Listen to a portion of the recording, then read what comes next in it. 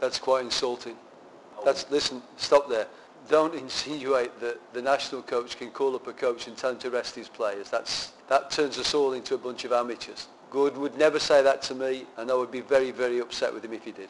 My my thoughts are with the Kaizer Chiefs, the same as Par, and anything I can do to help our national team, I will do willingly. But I would not do the favour for the national team at the expense of my own club. And to and to say and to say that is like it's upsetting for a professional.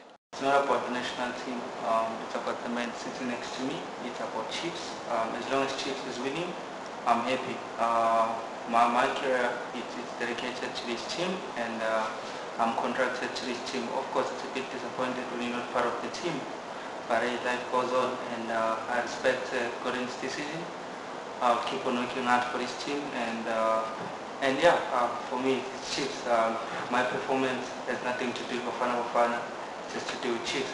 Yellow cards are expensive, aren't they? You know, we got Bernard on another yellow card for I don't know what. Even Keagan's spell was something that I don't know what, but we, we keep piling up these yellow cards for, for something and nothing. I wouldn't mind if people are clattering into people, but we do get these yellow cards. So we have to be more careful because we've got uh, Tshepo who I, I chose to rest tonight for that very reason. He's had a scan on his knee and his knee is not as we would like it. We could have pushed him in and played him, but we need to take every opportunity to rest him. So if we get these yellow cards at the same time as Tshepo's knee is troubling him, then uh, we will have to rearrange the, the team. So yeah, it's a concern, and it's a concern for me that we get cheap yellow cards talking to the referees and stuff like that. It's unnecessary.